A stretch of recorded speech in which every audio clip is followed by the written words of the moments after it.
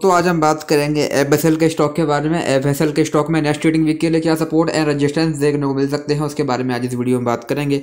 हम अगर यहाँ पे स्टॉक की बात करें तो हम देखेंगे जो ये स्टॉक है, ये हमको पिछले एक लंबे समय से यहाँ पर लगातार क्लियर ऑफ़ ट्रेड में देखने को मिल रहा है। हमको स्टॉक में हाइयर हाई हाई लो वाला पैटर्न यहाँ पर देखने को मिल रहा है।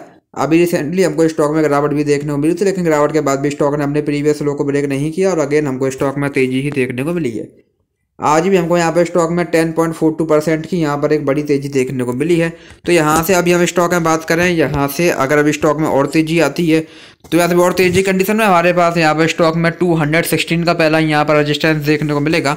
अगर स्टॉक ने इसको भी यहाँ ब्रेक किया देन यहाँ से भी हमको स्टॉक में अगेन टू थर्टी और अगर स्टॉक ने इसको भी यहाँ ब्रेक किया देन यहाँ से भी हमको स्टॉक में अगेन टू फोर्टी, इसके बाद हमको यहाँ पर स्टॉक में टू फिफ्टी, और इसके बाद हमको यहाँ पर स्टॉक में again two sixty, two seventy तक के लेवल्स भी यहाँ से देखने को मिल सकते हैं। वहीं यहाँ से अगर स्टॉक में गिरावट आती है तो यहाँ से गिरावट की कंडीशन में।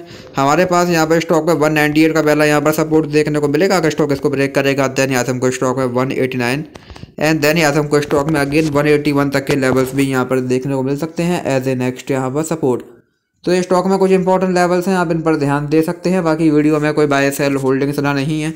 वीडियो केवल एजुकेशनल पर्पज़ के लिए धन्यवाद।